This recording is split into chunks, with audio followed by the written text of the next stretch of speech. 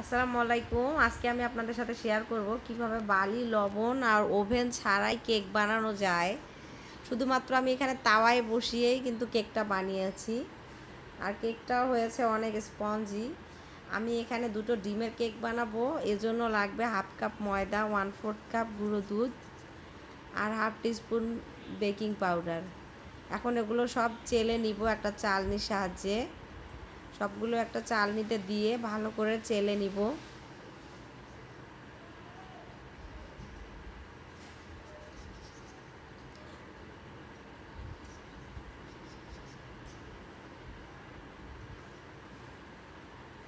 এগুলো আমি সব ফেলে দিব, এগুলো আর দিব না। এখন দুটো ডিমে আমি কুসুমটা আলাদা করে নিব। ডিমের সাদা অংশটা আগে ফোম করে নিব এক বিটার দিয়ে।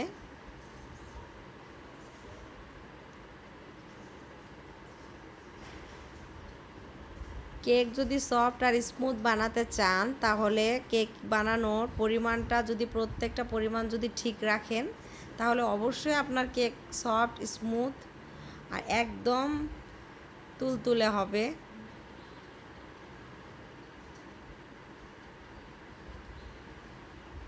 কুসুম দুটি আমি আলাদা করে রাখলাম। এখন আমি বিট করে নিব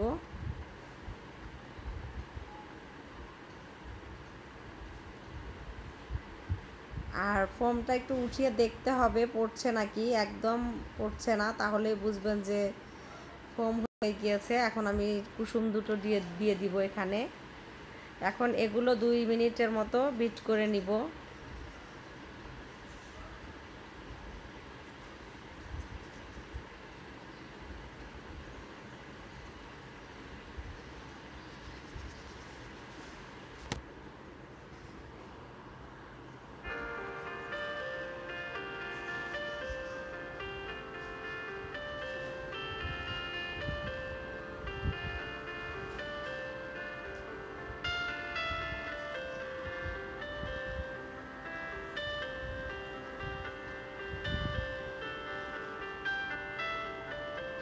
এখন দিয়ে দিব এখানে হাফ কাপ পরিমাণ চিনি। আমি এখানে ওয়ান থার্ড কাপ চিনি ইউজ করেছি। হাফ কাপ চিনি দিলে বেশি মিষ্টি হয়ে যায়। আমি হালকা চিনি এ হালকা চিনি দিলে অল্প আর কি মিষ্টি হয়, এজন্য চিনিটা অল্প দিয়েছি। আপনার চিনিটা হাফ কাপও দিতে পারেন। আর এখানে দিয়েছি ওয়ান থার্ড কাপ পরিমাণ তেল। হাফ কাপ ময়দায় আসলে হাফ কাপ চিনি মেজারমেন্টটা ঠিক বাট আমি মিষ্টি এখানে কম খাই, এখানে আমি দিয়েছি ওয়ান থার্ড কাপ চিনি, দিয়ে দিলাম কয়েক ফোঁটা ভ্যানিলা এসেন্স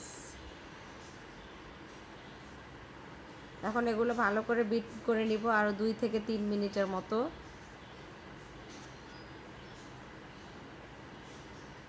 আসলে মিষ্টিটা আপনাদের স্বাদ মতো, চিনিটা আপনি স্বাদ মতো ইউজ করতে পারেন। এটাতে কোনো কম বেশি হবে না কেকের সফটনেসটা আর ময়দার মিশ্রণটা আমি এখানে তিন থেকে চারবার দিয়ে মিক্সড করে নিব ডিমের ফোমের সাথে।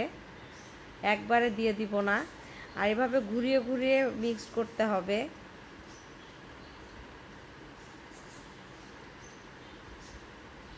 আমি এখানে তিন থেকে চারবার ময়দার মিশ্রণটা দিয়ে মিক্সড করে নিচ্ছি।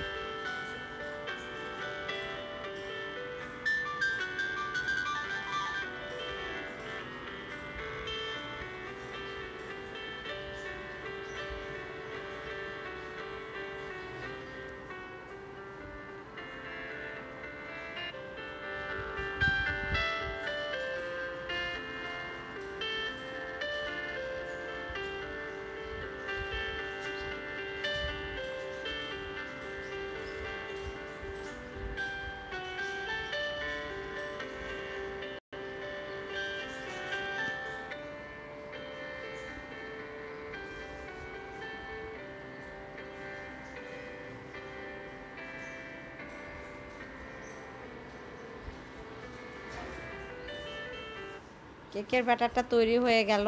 এখন আমি এটা ঢেলে নিব। এখানে একটা কাগজ দিয়ে দিব আগে, যেন নিচে লেগে না যায়। আর উপরে একটু তেল দিয়ে একটু মিশিয়ে নিব কাগজটার মধ্যে। এখন আমি ব্যাটারটা দিয়ে দিব। একটু উঁচু থেকে দিতে হবে।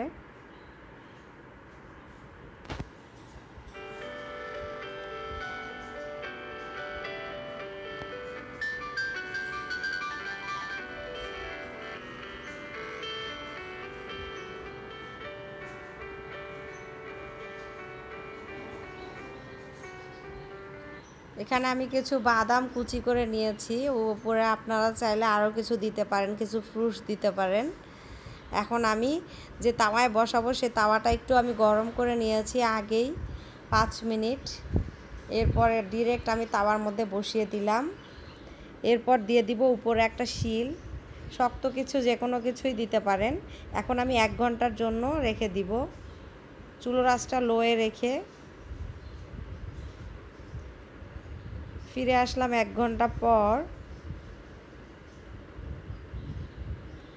দেখুন, কেকটা কিন্তু চমৎকার হয়েছে আর এতই সফট আর স্মুথ হয়েছে যে আপনাদের বলে বোঝাতে পারব না।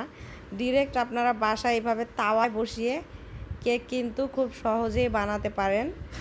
আর এই কেকটা কিন্তু অনেকে বালি, লবণ ছাড়া কিন্তু যে বাসায় থাকে না, যে কেক বানাতে পারছেন না, অনেকের বাসায় কিন্তু তাওয়া কম বেশি সবার বাসায় থাকে। তাওয়ায় বসিয়ে এভাবে কেক আপনারা বানাতে পারেন খুব সহজেই। আমি একটু কেটে দেখাচ্ছি, একদম সফট হয়েছে কেকটা আর অনেক ফ্লাপি হয়েছে। তৈরি হয়ে গেল খুব সহজেই স্পঞ্জি আর ফ্লাপি কেক। আপনারা এইভাবে একবার ট্রাই করে দেখতে পারেন বাসায়।